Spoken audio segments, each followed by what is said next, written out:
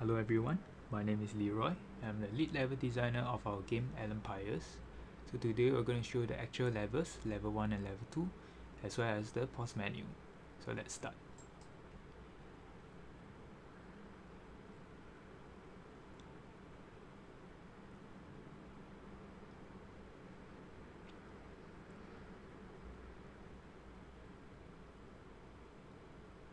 So what you've seen just now is the level 1 cinematic.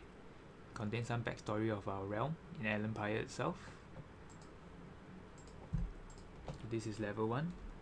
You won't be able to see the other rooms until you dispel the fog of war itself. I created a unit. We'll use it to scout the first room. So the art design of level 1 is pretty much to simulate a dungeon environment. So we have rooms like treasury, training room, as well as war rooms. You have a war table and all the weapons on the side. There are still many other rooms for the players to discover. So for demonstration purpose, I'll skip to level 2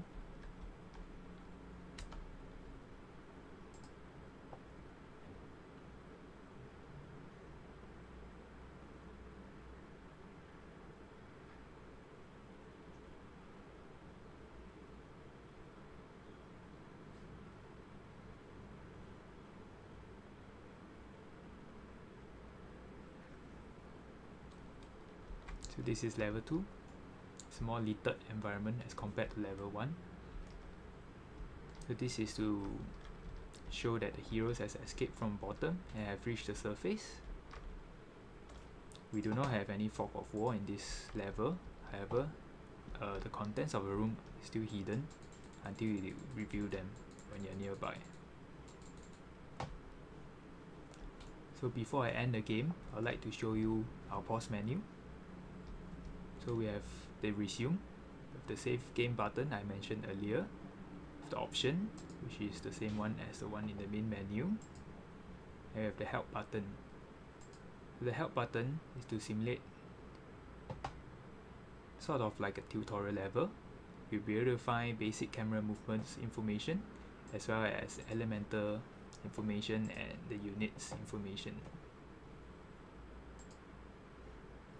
and lastly the exit game.